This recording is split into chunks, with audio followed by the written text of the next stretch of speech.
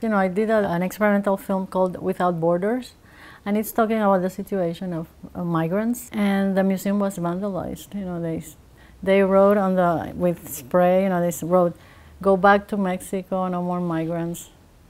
I mean, I can't just keep quiet.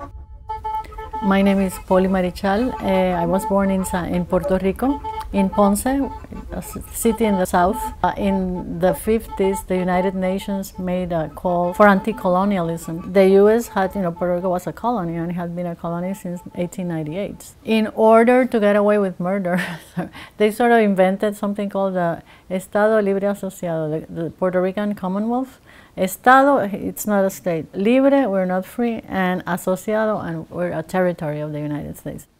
I came from a family with very strong women. My mother is super strong, and he, she always taught us, don't ever let anyone treat you badly. Just revolt. You know, she was always like, she's in the in the subversive list in Puerto Rico. I am to my sister, you know, people who are, you know, going against the government. For me, it's really important to to show your face, you know. We have to protect the little democracy we have left, otherwise we're dead. I always like to move outside the lines. They would tell me in Puerto Rico, but why are you doing that painting on film? You're ruining the, the celluloid. And I said, no, I'm not. I'm, I'm adding to it.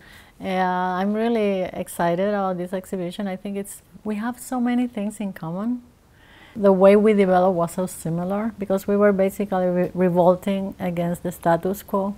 You live in the times you live in, and sometimes there's no way to escape. You know, you have to confront the reality and do art that really reflects your times.